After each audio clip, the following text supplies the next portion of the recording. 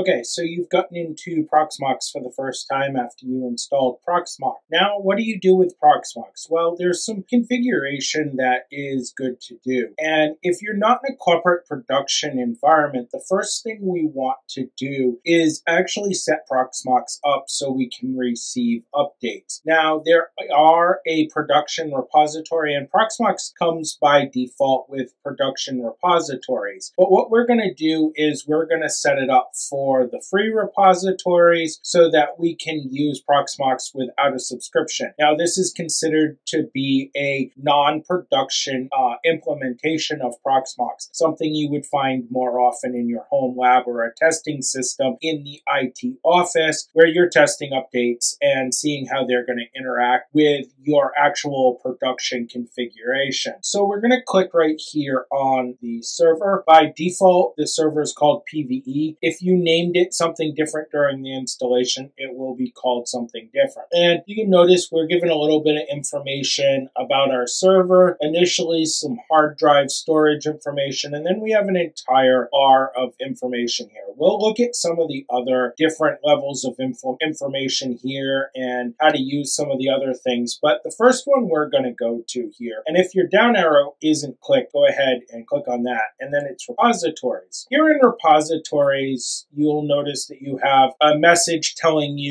that your subscription isn't active here. And we're going to deal with that first by checking or clicking so that it's highlighted this repository here. This is the enterprise repository for Proxmox updates, and we're going to disable it. We're going to do the same here for the Ceph repository list, and we're going to disable it. Now, for this implementation and basically non, you know, cluster based implementations of Proxmox, we're not going to use Ceph, at least for now. And so what we're going to do is click add here. We get told that there with a message that we don't have a valid subscription. That's okay. We can move on. And it first comes up and wants to add our our enterprise. Well, enterprise requires a subscription. But if we click on the drop down, we can actually go down and check no subscription. And we can press add. That'll add the no subscription repository in here. And we're ready now to start receiving updates inside of Proxmox. Now, Proxmox has a multi-tiered update setup, just like most Linux systems and being based on Debian, Proxmox is no different. So when we go ahead and hit update, initially you'll see no updates here. Well, what we have to do to get these updates is actually hit this refresh button, and then we're going to press OK.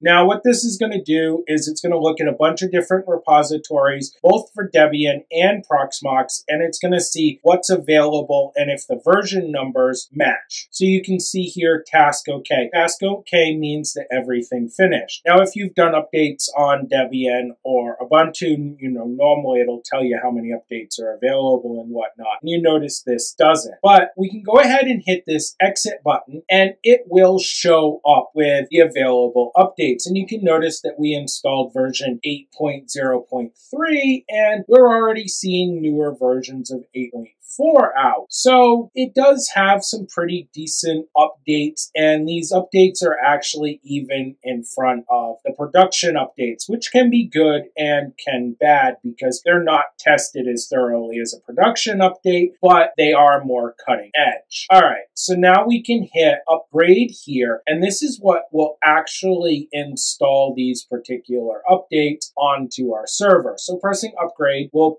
pick up a console window, and it's going to ask us if it continue. And we can say yes and hit enter and it'll continue. All right, once you get the root at PVE or root at your server name and it comes back to an area where you can normally type, you are finished and you're okay just to exit out screen. And you'll notice that these updates show on the screen at this. For some reason, when you exit out the updating console, it doesn't do a auto refresh so that it removes all your updates. If this bothers you, you can go ahead and hit refresh and you can see that they'll all disappear. So this concludes setting up your Proxmox system for updates